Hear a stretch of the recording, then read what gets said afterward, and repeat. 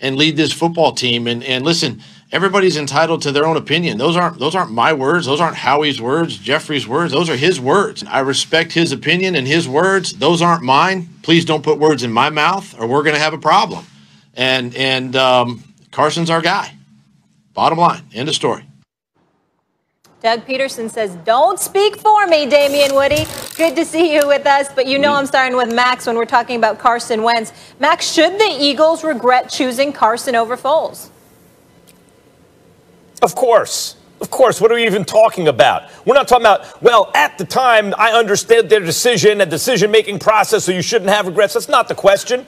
The question is what we know, given what we now know. If you could do it again, would you do it? Or do you regret doing it? How could they not regret doing it? Guys, I'm the one who was, among others, who was saying Carson Wentz is the MVP at the time he was he got hurt. Was it three or four years ago now? I, I would say he's the MVP over Brady, over everyone. I thought he was great. I thought he was absolutely fantastic. Then he got hurt. I was like, these dudes are dead in the water. Come on.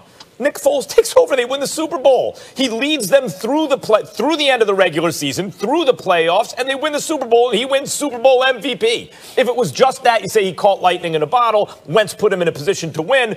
You know, home field and all this. He he had a great team around him. Okay, the next year, Wentz. I want to say the Eagles were like five and six when Foles took over the team. They were either 500 or a game under 500 and dead in the water. The team wasn't going anywhere. They were dead in the water. Foles takes over, goes four and one, beats Chicago at Soldier Field, where Chicago was a lot of people's sleeper pick. They might come out of the NFC. Look at this historically great talent on defense. Almost beat the Saints at New Orleans to follow up beating the Bears at Soldier Field. Receiver turns around, he hit the receiver. They might beat the Saints in New Orleans. Came that close. That's a title defense. Unsuccessful eventually, but that's a title defense. Now the Eagles had a choice to make. What do they do? They choose Wentz. Foles goes to Jacksonville. It's a bad situation. I get it. But uh, so so what could Foles do with this team? They're too banged up. They don't have enough. You might as well have Wentz. No. Given what we know now, Wentz is not enough to cover up for your mistakes. Well, they made the playoffs last year. You're saying Foles couldn't have in that division?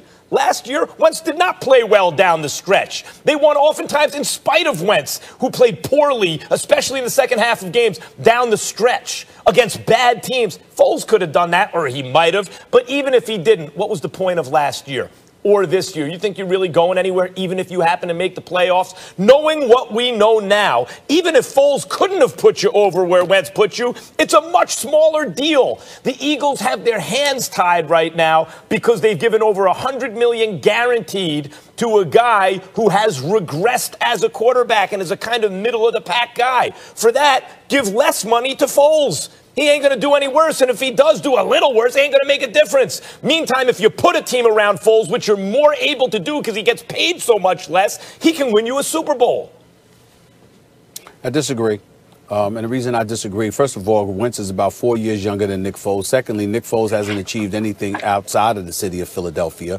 Uh, when he was in Jacksonville, he was winless. He's two and four in Chicago uh, with 10 touchdowns and seven interceptions in the six games that he's been a quarterback. Uh, the bottom line is, is that Nick Foles had lightning in the bottle and obviously delivered the Super Bowl championship. Came back the next year, got him to the playoffs. Both times, Carson Wentz got injured. The first time, Carson Wentz was an MVP candidate. The second time, he hadn't fully recovered and he was five and six as a starter before he went down, and then Nick Foles came in and saved the day. Ever since then, not just Carson Wentz, but the entire Philadelphia Eagles squad has been ravaged with injuries. We know of a of a wide receiver, uh, you know, or rather a quarterback in college that was a wide receiver. We had guys that was coming off the practice squad. Nelson Agholor and Alshon Jeffery weren't available. DeSean Jackson goes down. Uh, when you look at it from that perspective, and you look at the plethora of injuries that they've that have taken place over the last several years, I don't think that you can just look at Carson Wentz and say, hell no, he's not that guy. Now, this year, he's been absolutely awful. Over the last four games, he hasn't even completed 60% of his passes.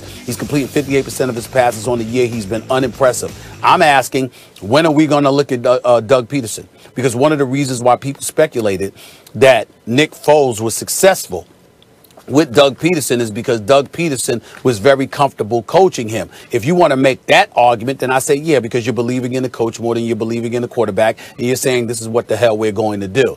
But the flip side to it is that if you're Doug Pederson, when are you going to acclimate yourself to coaching Carson Wentz so Carson Wentz is not regressing under your watch? Doug Pederson is a former quarterback. Doug Pederson is a guy that came from the offensive side of the ball. Doug Pederson has coached quarterbacks before. Why is it that this guy is regressing on your watch, but we're sitting here talking about Carson Wentz and not Doug Pederson that doesn't seem to make a lot of sense to me. So I'm just looking at it. If Nick Foles was wreaking havoc and tearing it up and doing his thing, that would be an entirely different situation altogether.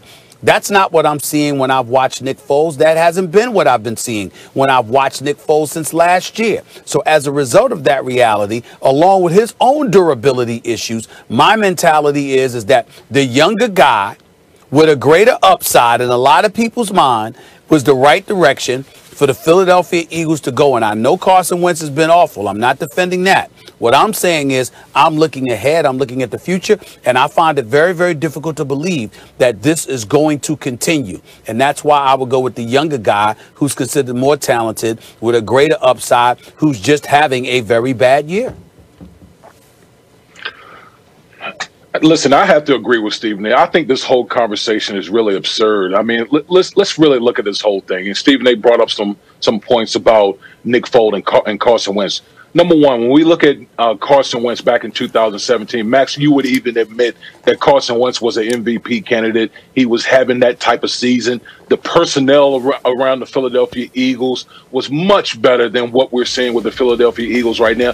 Hell, the Philadelphia Eagles are a shell of themselves as far as their roster and, and coaching situation is concerned. Okay, and then to follow up on 2008, the, two, the following season, 2018 I mean, listen, Carson Wentz had over 3,000 yards and only seven, he had uh, 21 touchdowns and only seven interceptions in, uh, in a year that he found himself injured, uh, injured as well. So it wasn't like he was just playing bad football in 2017 or 2018. It was a situation where Nick Foles, again, caught lightning in bottle and was able to make things happen with the coaching staff that he was familiar with. Now we fast forward, all right? You got Frank Reich, who was also part of that staff, who's now the, the head coach of the Indianapolis Colts, who was a, a big part of that, that quarterback room uh, with the Philadelphia Eagles. So now you all, now not only do you have a drain as far as talent is concerned, personnel, but as far as the coaching staff that is all played while we seeing Carson Wentz playing the, playing the way that he's playing. Now, I'm not absolving Carson Wentz in this particular situation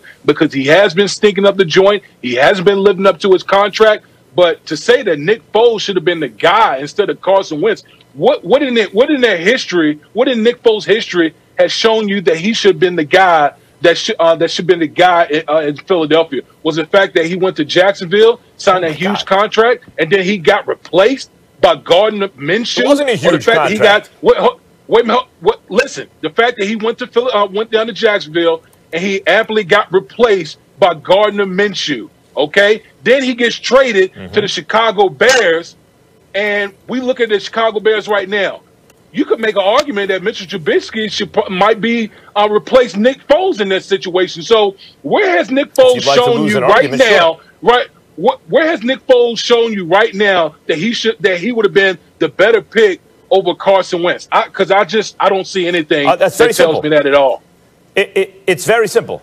It's very simple. Nick Foles is not the kind of guy who's going to take a bad team and make him good. He needs a lot around him. That there's no question about it. But if you have a lot around him, he'll mess around and win you a Super Bowl. Not he might, he will. He already did it. Like he is he is absolutely does, capable of doing that. It, and then he made a valiant title defense. Does the Philadelphia, in, does the Philadelphia Eagles have a lot around have a, have a lot a, a lot around him right now?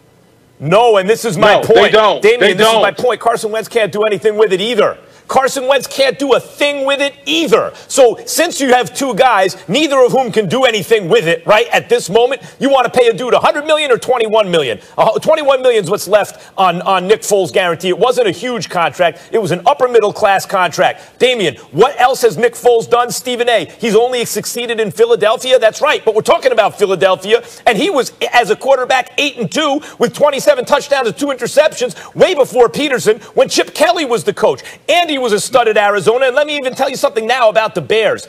They have a thin receiving corps and no offensive line. Foles ain't doing any worse than Trubisky was. Here's the thing I'm not pretending Foles is a superstar. He's a plus 500 quarterback throughout his career. He has more wins than losses, pretty big sample size. Throughout his career, he will throw two touchdowns to every interception. He's not an incredible stud. What he is, is a competent NFL quarterback who's clutch and big under pressure, whose teammates like to follow him, and you can get him for less than 50 cents on the dollar what you have to pay for a guy like Carson Wentz, who's still not being accountable as to his team, showing up at press conferences talking about, I may never learn when to eat it and not to extend the play. That's just the way we play well, football around here.